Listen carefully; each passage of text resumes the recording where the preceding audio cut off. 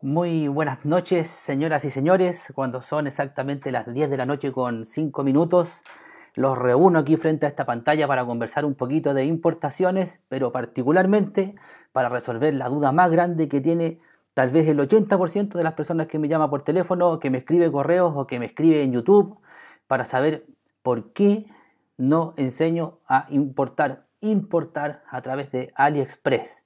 Ahora, para que esto sea dinámico, eh, la idea es que vayan colocando sus comentarios eh, o sus preguntas en los comentarios de esta transmisión. Así podemos aprovechar ¿cierto? El, tiempo y ir respondiendo algunas inquietudes adicionales. ¿ya? Pero el tema de hoy importante es por qué no enseño a importar por AliExpress. Y vamos a partir de inmediato aclarando por qué no lo hago. Es muy sencillo. Si yo hago un curso que sea orientado a hacer importaciones del tipo dropshipping, ya que por dropshipping se entiende em, que tú tienes una página web, por ejemplo, ya sea en Shopify o con WooCommerce en WordPress o con Joomla, no sé, cualquier plataforma que sea e-commerce, en donde una persona hace una compra en tu página, ¿cierto? Tú tienes ya una conexión con un proveedor en el extranjero. En este caso, para que sea a través de AliExpress vía dropshipping, tendría que ser un proveedor chino, por lo general. Si es así, alguien te compra acá en Chile, a través de tu página web, el pedido se va a hacer en China. Y para que llegue ese pedido desde China a Chile van a pasar aproximadamente 4 semanas, 30 días. 30 días para que llegue el pedido a la casa o al domicilio de la persona que te compró en la página web. ¿Qué pasaría con eso? Tu negocio duraría esos mismos 30 días aproximadamente. Muy difícil que dure más que eso, porque la, experiencia de compra acá en Chile para hacer dropshipping es exactamente la misma que si cualquier persona comprara en AliExpress. No, tienes para qué vender tú otra vez de una página web tuya porque se van a demorar exactamente lo mismo. Entonces, em, ¿a dónde voy con esto? Enseñar a importar por, por AliExpress para hacer dropshipping, ese negocio acá en Chile no resulta. Ya no resulta por el momento. Por el momento. mucho ojo con eso. Segundo, em, el segundo motivo por el cual no enseño a importar por AliExpress es porque es un, marketplace que es muy sencillo de ocupar. No hay necesidad de hacer validaciones adicionales y el, capital que estás colocando en riesgo al momento de comprar es de solamente el valor del producto, ¿ya? El valor del producto que puede oscilar entre los mil pesos, incluso en algunos casos menos, hasta la cifra que tú quieras dependiendo de las unidades que tú compres, ¿ya? Pero por lo general no van a ser compras al por mayor. El curso eh, emprende importando productos eh, que, puedes aprender a importar desde China, India, Corea del Sur, Estados Unidos, es para traer productos en grandes cantidades para acceder a mejores precios. ¿Vale? O sea, si tú compras en AliExpress no puedes negociar precio, salvo que encuentres la forma para poder comunicarte con el proveedor, salir de la plataforma, ¿cierto? Em, y hacer alguna negociación aparte. Pero ¿qué pasa? Que la gente que vende por AliExpress en China son ciudadanos comunes y corrientes como tú o como yo, que tienen su negocito en el cual, según los pedidos que van llegando a través del, del marketplace de AliExpress, ellos van donde el proveedor grande, digamos, compra los productos y los despachan al extranjero. No es otra cosa más que eso. Por lo tanto, es difícil que tú puedas acceder a tener mejores precios con ellos porque ellos venden al, detalle. Bien. Y tercero, ¿ah? el tercer motivo por el cual no, no enseño a vender por AliExpress es porque sería prácticamente meterte la mano en el bolsillo con algo que realmente no, no tiene sentido. ¿Ya? Porque para que hagas un negocio o por lo menos cuál es el fin del, negocio de, importar, digamos, y hacer algo de largo plazo. Y cuando tú traes eh, cosas a través de, AliExpress, em, vas a traer cosas de a una. O sea, vas a tener una ganancia, no sé, de 2.000, 3.000, 4.000, 10.000, 20.000 pesos. Imaginemos que tienes una ganancia de 20.000 pesos. Pero ¿cuánto tendrías que vender para sostener un sueldo? O sea, ¿cuánto, ¿cuántas ganancias por producto de 20 mil pesos tendría que juntar para que fuese una, una, renta, un, un, sueldo atractivo, digamos, para que tú puedas vivir de eso? Mucho. Tal vez si eres joven, no sé, tienes 14 eh, años, 18 años, todavía vives con tus papás, puedes tener un negocio asociado con esta venta el, detalle, pequeñito. Pero cuando eh, se trata de hacer negocios importantes, no es la idea importar poco, la idea es tratar de ir haciendo, hacer el esfuerzo por hacer una compra, una compra mínima, ya que esa es otra pregunta que me hacen muy seguido, eh, cuánto es el capital, lo vamos, vamos a abordar ahí, pero hacer un esfuerzo para tener un capital y ya poder negociar un precio y poder traer una cantidad importante de, productos que permitan ir dando vuelta una bola de nieve que vaya haciendo crecer las ganancias para después traer eh, más em, más producto y más y más y hacer crecer un negocio. Pero da uno al boteo es muy difícil. Por lo tanto, yo estimo que eh, hacer un curso para eso acá en Chile aún, aún no es productivo. Lo he pensado muchas veces porque hay que seguir la regla principal, digamos, de, los negocios, que es hacer lo que el mercado está pidiendo. Muchos de ustedes, eh, muchas personas a través de YouTube, a través del mismo Facebook, a través de correo electrónico me dicen, usted enseña a importar de AliExpress. Mira, si la persona está muy interesada, con mucha gente, de los 295 alumnos que tengo hasta el día de hoy, eh, con varios de ellos lo hemos hecho como parte de la misma asesoría. ¿ya? No, si, tú quisieras importar, tal vez no serías el único que no tiene un capital muy grande para traer cosas. Es cierto. Em, pero no eres el único. Mucha gente está en la misma posición, paga el curso porque quiere aprender, se inscribe y después empezamos a hablar los detalles. O sea, quiere traer algo para AliExpress, no sé, para buscar teléfonos celulares, buscar productos que no, no se pueden comprar por mayor. Lo vemos, lo conversamos, pero vemos el caso particular. No, no me dedico a hacer una, una, clase, digamos, de, de esto grabada en video como los otros cursos porque no tiene ningún sentido acá en Chile. ¿Ya?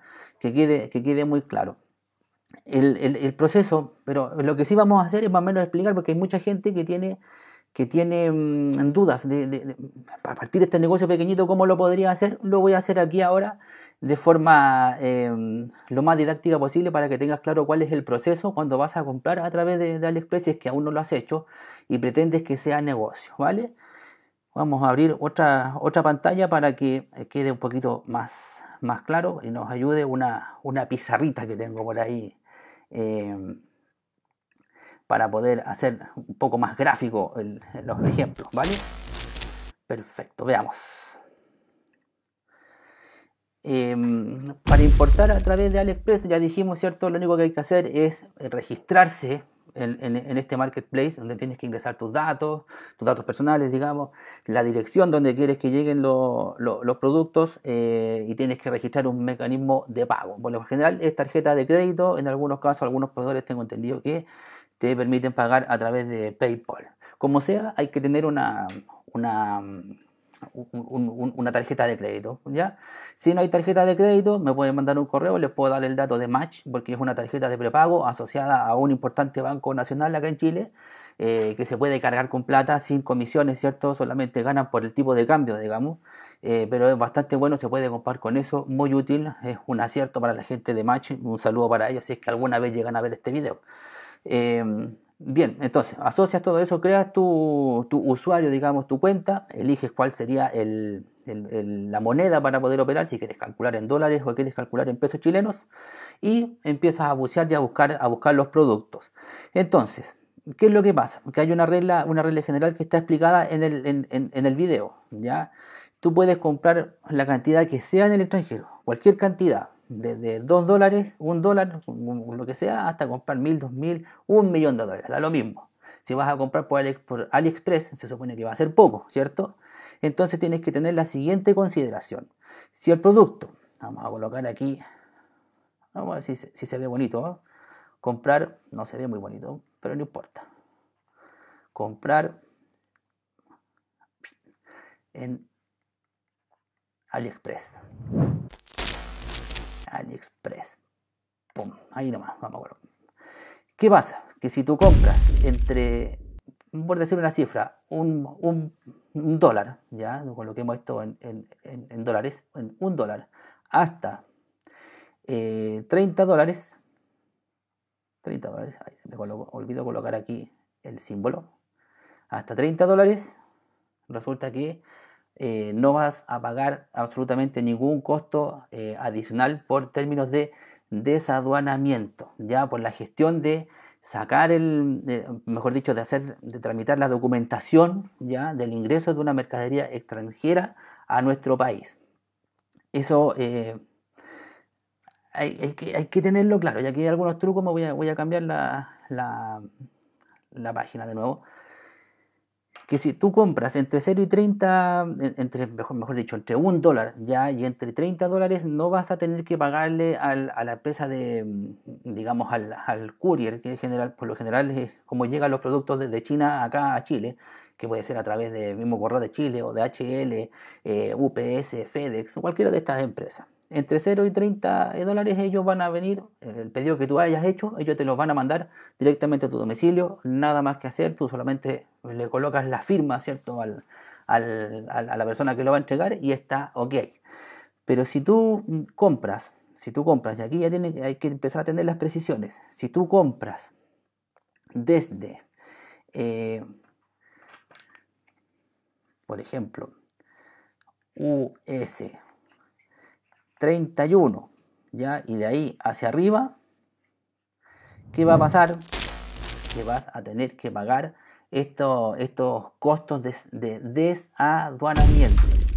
¿Ya? ¿Qué son los costos de desaduanamiento? Repito, es la gestión que hace la empresa de transportes para poder eh, hacer válida, válida la internación de esta mercadería a nuestro país. ¿ya? ¿Qué implica eso? Que tiene que declarar el valor del producto que está trayendo, que está ingresando al, país, a nombre de quién va, bien, para que se puedan pagar los impuestos asociados. Entonces, si son más de 30 dólares, vas a tener que pagar los impuestos, el arancel asociado a esta internación, que va a ser el IVA más el ad valorem, más aproximadamente un 25% de la compra, y vas a tener que pagarle a la empresa que hizo la gestión un honorario. Y ese honorario he visto desde 15 eh, dólares aproximadamente hasta 90 dólares. Va a depender de la empresa, incluso un poco más dependiendo de la cantidad que, se gestione. hay que tener esas consideraciones para traer el producto a través de AliExpress. Si traes hasta 30 dólares, ningún problema, no vas a pagar absolutamente nada. Em, si traes desde 31 dólares o desde 30,01 como 30,5 dólares eh, de ahí para arriba, tienes que prepararte porque vas a tener que pagar el IVA y vas a tener que pagar el arancel al valor, vas a tener que pagar los honorarios de la empresa que te gestionó este ingreso al país.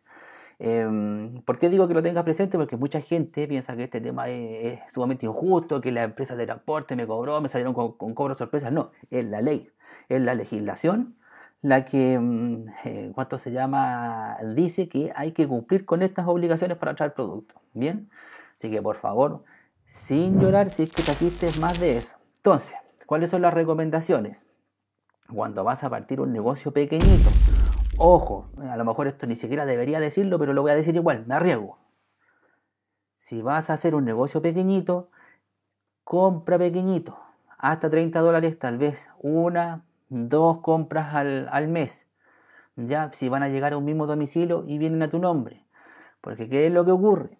Que el Servicio Nacional de Aduanas, si empieza a ver que está llegando una cantidad de productos, ya, sobre todo el mismo producto, a un mismo domicilio, a una misma persona, en algún momento se puede dar el caso que piensen que eso no es para uso personal, se supone que si uno compra a través de AliExpress, está comprando para uno, para uso personal, ya para que tú puedas comprar, eh, para que tú compres algo que lo vas a ocupar tú o lo vas a dar de regalo o algo por el estilo.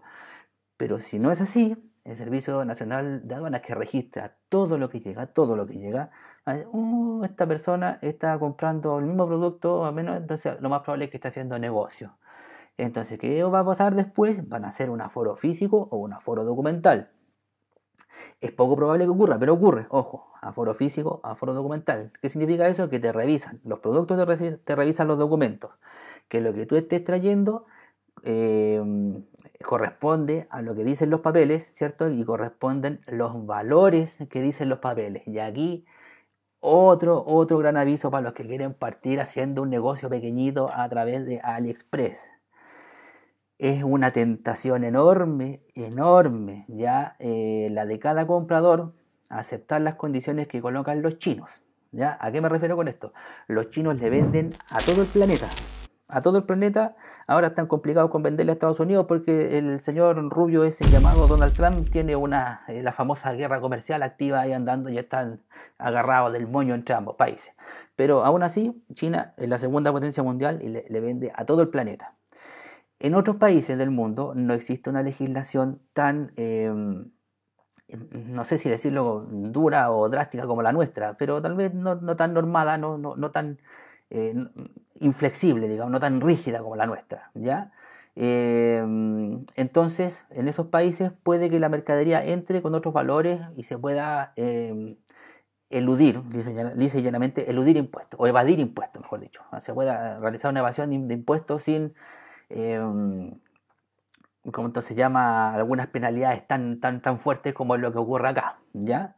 Entonces, ¿qué es lo que ocurre? Que cuando tú le compras, no sé, 50 dólares, 60 dólares a un chino a través de AliExpress, eh, puede que se dé el caso que te ofrezcan decir que te van a mandar la factura, ya, invoice, la factura, te la van a mandar, dice, para regalo, ya, gift, eh, y van a colocar el valor 29.98. Perfecto.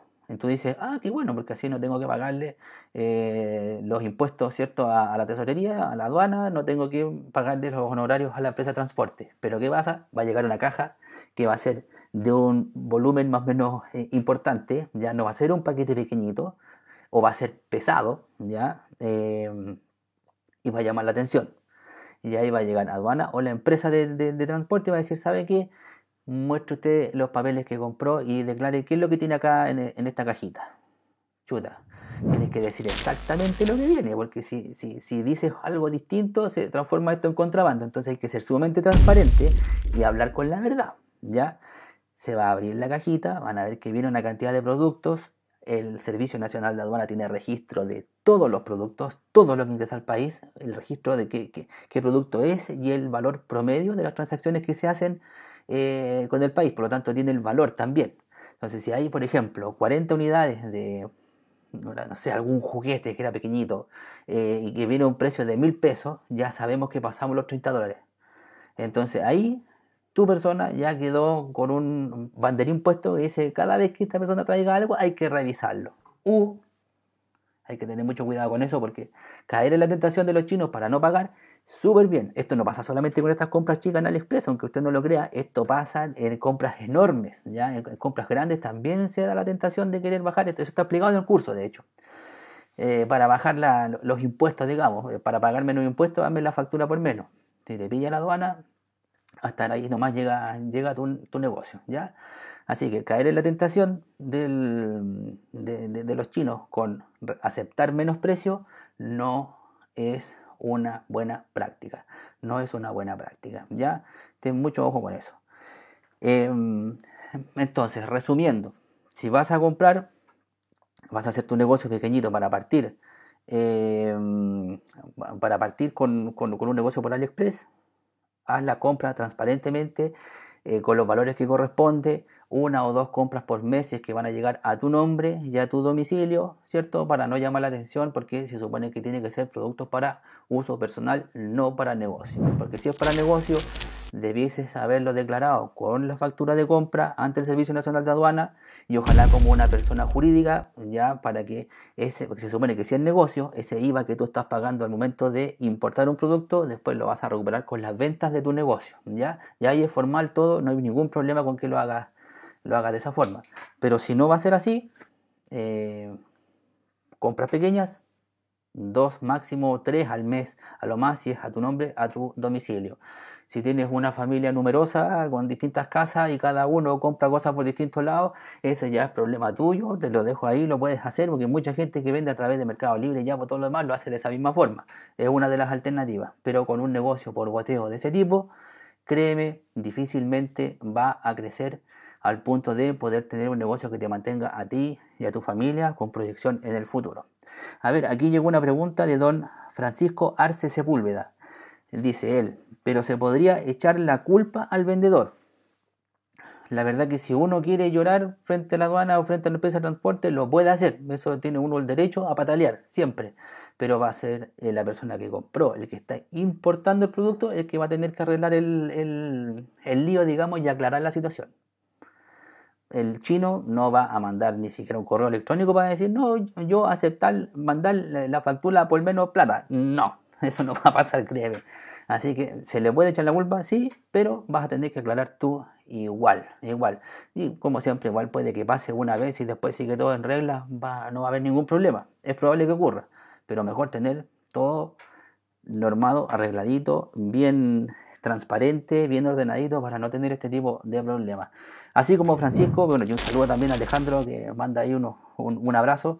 Eh, coloquen sus preguntas ahí, en este momento hay 18 personas viendo esto, más de alguno debe tener alguna, alguna consulta respecto de importaciones, eh, respecto de, eh, no sé, algún tema de importaciones más grande, más negocio, el emprendimiento. Aprovechen esta oportunidad porque tenemos aproximadamente unos 20 minutos más para poder, para poder conversar, para que este video no se, o esta transmisión en vivo no se extienda más allá de lo, de lo necesario. Bien, entonces resumamos, ¿por qué no, no enseño a, importar por AliExpress? Primero, un negocio que no va, que no, que no va a crecer, digamos, no me interesa eso. Si, enseño a importar productos desde el extranjero es para hacer eh, negocios con proyección con, eh, con futuro, digamos, para que tú y tu familia puedan disfrutar de, un, de algo que armaron, algo que sea, que sea importante.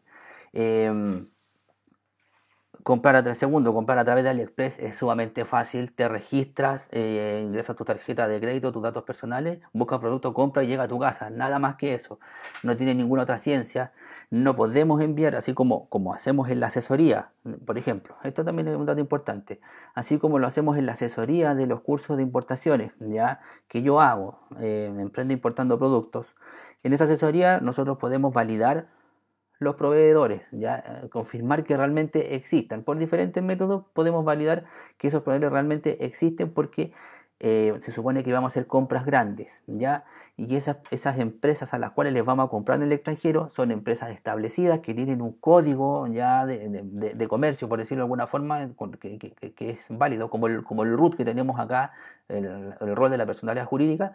Eh, las empresas en el extranjero también tienen estos numeritos, todo eso se puede validar, ¿ya? Vamos a tratar con ellos y vamos a comprar una cantidad importante, por lo tanto hay que saber que realmente existe. En el caso de AliExpress estamos tratando con personas y lo más probable es que sean millones de personas. Ya, millones de personas. Acuérdense que venden los chinos. Los chinos son 1.300, 1.100, 1.300 millones de personas. O sea, debe vender por lo menos. Si 100 millones de personas venden a través de AliExpress es, mucho, yo creo que incluso es poco. ¿ya? No podemos validar entre esa gente. La única forma de que tú tengas una seguridad, entre comillas, de que la persona con la que estás tratando existe y que cumple sus compromisos es a través de los reviews, de todas las, observaciones ¿cierto? que se dan en, los comentarios del, vendedor. De otra forma, no hay. No podría hacer esas validaciones y tampoco podría prometerlo porque no, no, no hay cómo hacerlo. Bien, no podemos hacer eso. Usted ingresa sus datos y tiene que confiar eh, aplicar ahí la fe, digamos, para que llegue el, producto después a la casa y no se pierda en el, en el camino. ¿ya?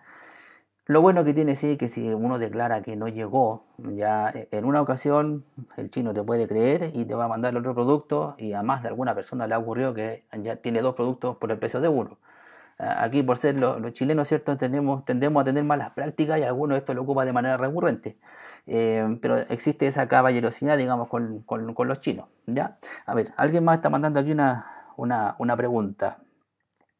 Don Marco Martínez Durán pregunta, el tema del pago es usualmente cuando uno realiza el envío a través de correo de Chile, ya que por la otra empresa como DHL, UPS, etcétera, ellos sí declaran lo real. Es más, muchas veces declaran mayor el envío por el peso del producto y ahí se pagan todos los impuestos correspondientes. Es verdad y sobre todo ocurre con nuestro país, gracias Marcos, eh, porque ya nos tienen, como dijo alguien por ahí hace unos años atrás, plenamente identificados con estas prácticas. Ya, por lo general, traer producto a través de DHL y UPS y va a implicar sí o sí que vas a tener que mostrar tus papeles y declarar lo que corresponde, y si no, ellos mismos los encargados de que eso se muestre y se destape. A ver, Muchas gracias Ramos Cortés, le dice a Margarita Poblete Agurto que aprendamos de estos videos que están buenísimos. Muchas gracias, esto da más ganas de hacer más videos y subir más contenido. Muchas gracias por el comentario. Eh, John Leonardo, eh, ¿existe alguna página para, para importar cosas para negocio? Bueno, ahí podemos hablar ocho horas porque eso es todo lo que tengo justamente en el, en el curso de importaciones online. Ya emprende importando productos desde China, India, Corea del Sur o Estados Unidos. Ahí en ese curso yo eh, muestro cuáles son las páginas más confiables para poder importar productos. Ya páginas en las cuales incluso eh, existe la alta probabilidad de que el ese, ese proveedor exista, ya que esté prácticamente un 100% validado. ¿ya? Eso se enseña en el curso. Hay páginas muy serias porque el tema de la globalización trajo de por sí el, el comercio global, valga la redundancia, y en un país en que no se produce algo tiene que traerlo desde otra parte y este intercambio comercial es duro y fuerte y la gente a través del comercio online propio, su propia página web, quieren hacer negocios para poder vender. Entonces esto está. Hay páginas para importar cosas para negocio y para importar con seguridad y confianza. Ahora, por mucho que la página diga que el, proveedor existe, que el proveedor es real todo lo demás, hay que tomar ciertas precauciones que están explicadas en el curso, ciertas validaciones para poder hacerlo con la mayor eh, seguridad posible. Siempre se corren riesgos, ¿ya? En todos los riesgos, eh, perdón, en todos los negocios se corren riesgos, ¿ya? Eh, pero hay que tratar de que sea lo más seguro posible haciendo todas las validaciones que corresponden. Hay páginas para importar cosas para negocio em, en Asia, por lo general muchas páginas en Asia para, ver, pero no son todas las que dan todas las garantías, digamos. Hay países en que cuesta mucho encontrar un proveedor. Tengo una alumna que quiso comprar em, papel em, para imprimir, digamos, ya papel para, para, para las impresoras, para fotocopia en Tailandia eh, pero no comprar a una fábrica porque quería traer una cantidad menor. Eh, estamos buscando por muchos lados un proveedor que venda por menos, pero ¿qué ocurre? Aparecieron 5, 6, 10 proveedores, digamos, pero por ejemplo con un correo Gmail para ubicarlo, o con un correo Hotmail. Mis recomendaciones, aparece una persona que quiere vender, por mucho que sea un trader que tenga una página donde aparezca que trabajó con cientos de personas, por favor, no se meta ahí. No tiene la más mínima seguridad una persona que tiene un correo no corporativo, ¿ya? Un correo genérico como un Gmail, Hotmail, un Yahoo. No, no es serio, por favor, no, no lo haga, ¿ya? Em, a ver, hay más preguntas. Margarita Boblete respondió, hay que ver, igual les tengo poca fe. Bueno, hay para todos los gustos, digamos. Em, emprendimiento significa eso. E, emprendimiento, la palabra emprendimiento viene de emprender, ¿ya? esa es la etimología, pero significa eh, hacer algo riesgoso, hacer algo difícil. ¿ya? Entrepreneur, ya que es una palabra francesa, se empezó a ocupar en el siglo XVI para la gente que eh, armaba su. se hacía de barcos, digamos, y partía de expediciones a otros lados a, conquistar. Una, una misión difícil. Empresa es hacer algo difícil también.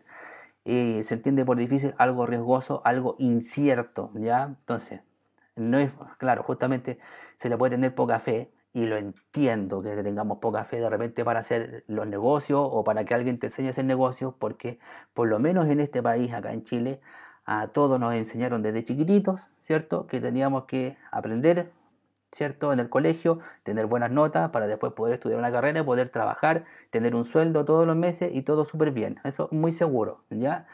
Pero es sumamente seguro hasta que se pierde. Cuando no hay empleo o estudiaste algo con lo cual después no entras a trabajar en eso, tienes la deuda de la universidad y tienes la, eh, las rentas bajas y no la puedes pagar y se te transforma una bola de nieve que te vas directo al DICOM, ahí uno empieza a darle vuelta un poco por qué hacer negocios no fue parte de lo que me enseñaron cuando era pequeño. ¿Ya?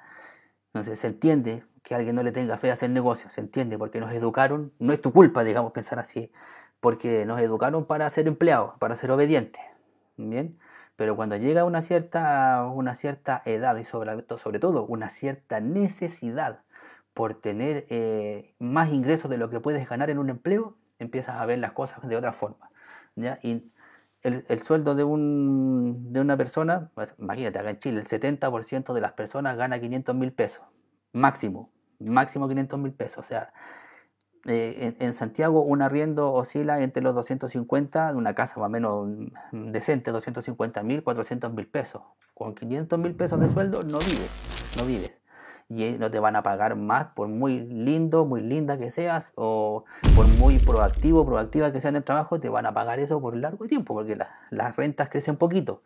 Sin embargo, cuando tienes tu negocio, has desarrollado tu, tu mentalidad, ¿cierto? Para poder generar negocios, estar inquieto, inquieta por buscar cosas que, poder hacer para comprar y vender y vivir de esas ganancias, cada uno de esos esfuerzos son eh, recompensados por ti mismo, por ti misma, ¿ya?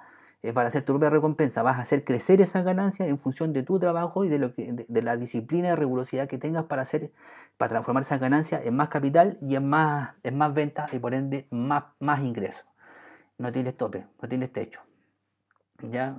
las personas que tienen grandes empresas a veces, o muchas veces, ni siquiera a veces, eh, no han tenido estudios formales ellos aprendieron el sistema en algún minuto de su, en alguna parte de su vida, ya sea porque lo heredaron por sus papás el conocimiento, por el abuelo, o bien se hicieron solos, ya eh, subieron el sistema, se metieron en esto, no estudiaron nada formal y tienen un, una manera de vivir mucho mejor que ese 70% de chilenos que hoy en día gana un máximo de 500 mil pesos, un 88% de chilenos gana menos de un millón de pesos menos de un millón de pesos.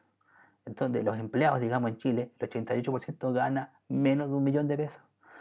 Cuando tienes un negocio como estos, es prácticamente imposible que ganes menos de un millón de pesos. ¿ya? Si ganas más de un millón de pesos, pasas a ser parte del 12% de los chilenos.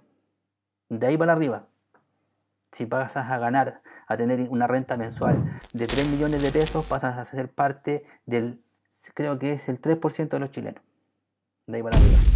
O sea, es decisión de cada uno, es dónde pone la fe, dónde pone los esfuerzos para aprender. Cuando eres emprendedor no tienes techo, ya no tienes techo. Es un tema de, mentalidad.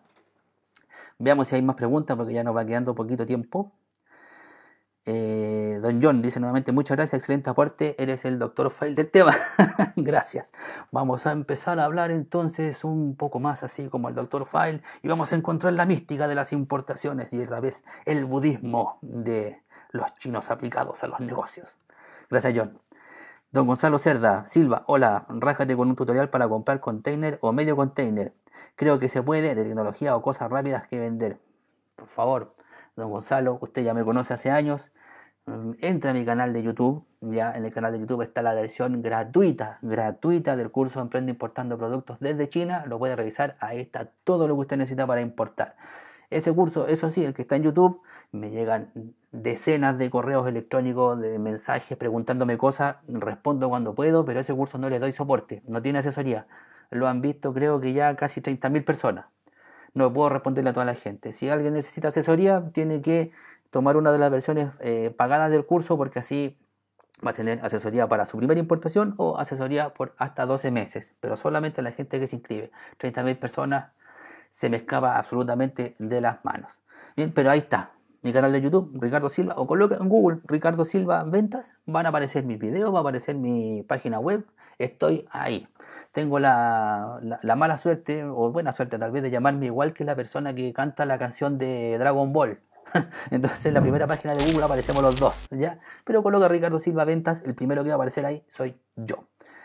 Marco Martínez Durán, una consulta. Como empresa debería declarar contablemente la internación. La factura que ingresa la puedo ingresar como una compra. Entiendo que los impuestos los puedo declarar, pero el valor salido desde mi caja, ¿cómo lo rebajo?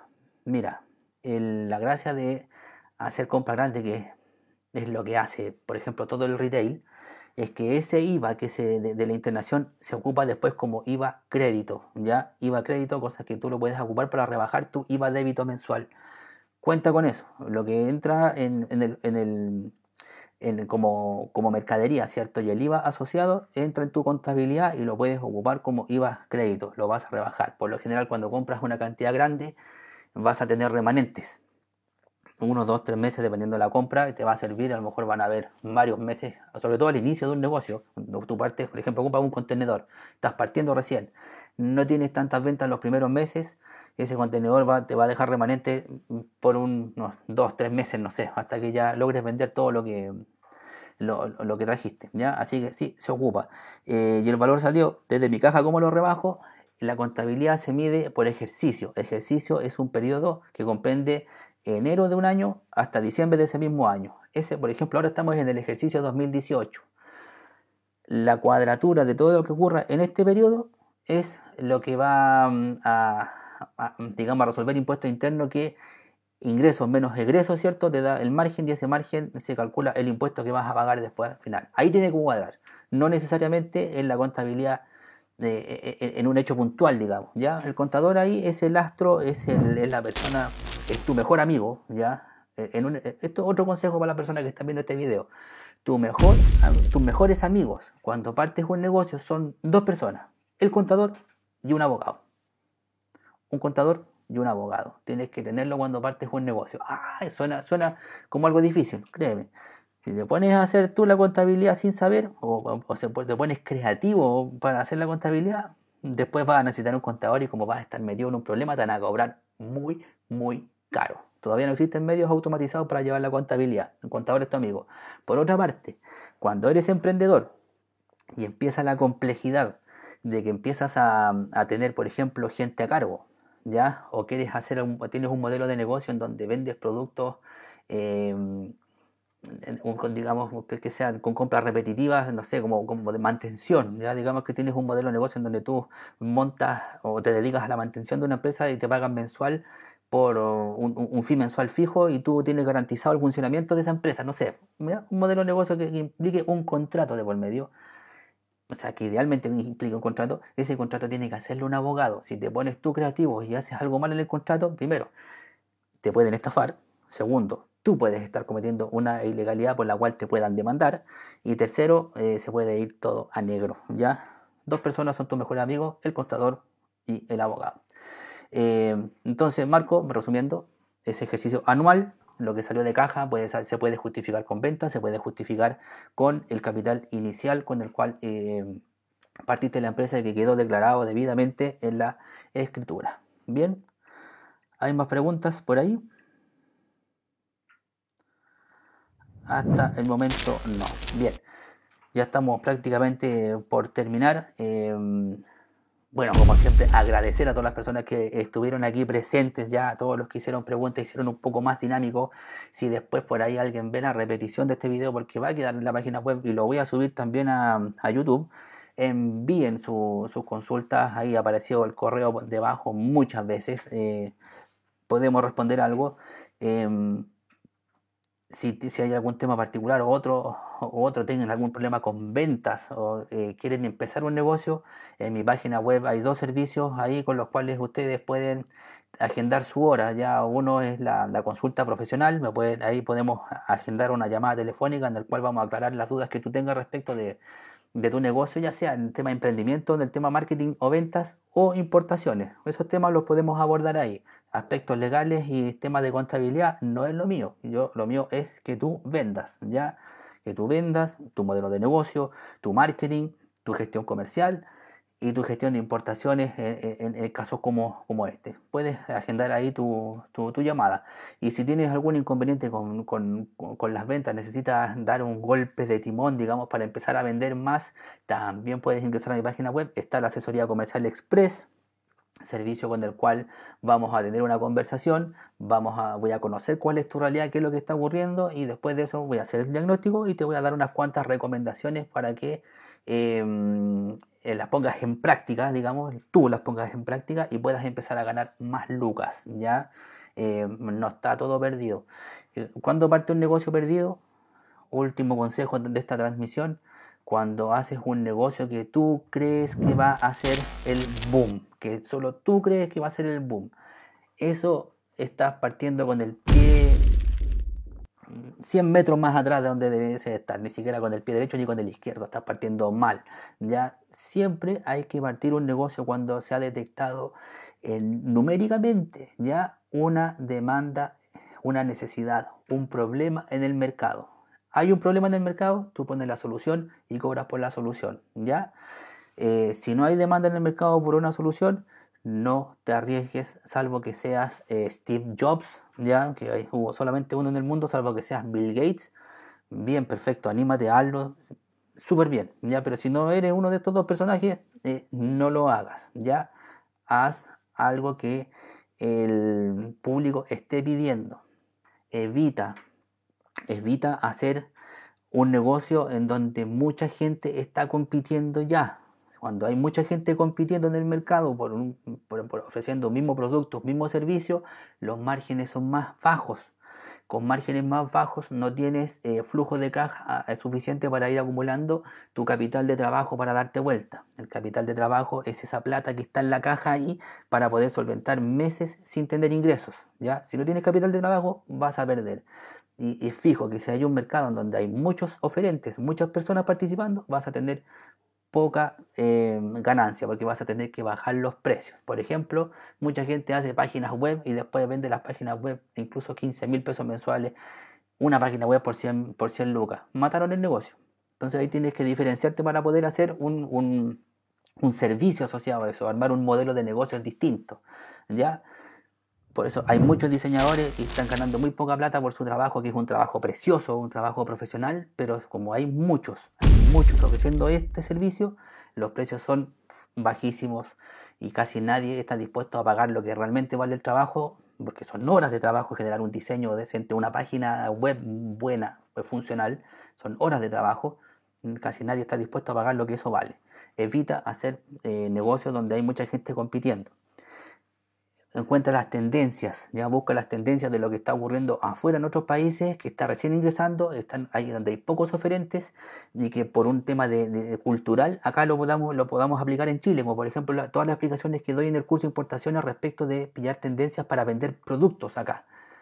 Esa es una manera de poder encontrar una, una demanda, un producto que esté siendo demandado en el mercado para poder venderlo aquí y que lo puedas vender a un precio tal que te deje márgenes, para que con esos márgenes puedas sacar tu sueldo y puedas acumular ganancias para reinvertir y hacer crecer el negocio. Bien, eh, mucho ojo con eso no te metas en negocios donde están todos peleando ahí, lo que se conoce como el, océano rojo. Hay un libro muy bonito que habla de, los océanos azules, eso es lo que, lo que hay que hacer. No voy a dar detalle en eso, hay muchos videos más que van a venir después, eh, pero evita la tentación de hacer cosas donde esté metido todo el mundo. Por ejemplo, es muy tentador siempre, siempre, siempre. La gente me pregunta para traer eh, zapatillas de marca, ropa de marca, de de marca hay mucha gente trayendo, es cierto que se vende, pero lo que se vende por lo general son copias. Las copias no es un negocio que vaya, eh, las falsificaciones no es un negocio que vaya a durar para siempre. Eh, voy a detenerme un poquito, discúlpenme, Porta Mabro me dice, lee el, mío más arriba, discúlpame si me lo pasé, voy a buscarlo, no apareció cuando estábamos ahí. Si quieres lo escribe de nuevo y antes de cerrar respondemos tu, consulta, no, no me apareció más, más arriba Porta Mauro. Jesse Yala, excelente, muy interesante la información. Felicitaciones Ricardo, muchas gracias. Saludo para ti. Eso me da ánimo para seguir haciendo estas cosas. Tuve que armar todo un equipo aquí para tener luz decente y poder transmitir y que se escuche bien y todo lo demás y poner estas cosas abajito que se ven, se ven bastante simpáticas. Ya es para dar una mejor experiencia.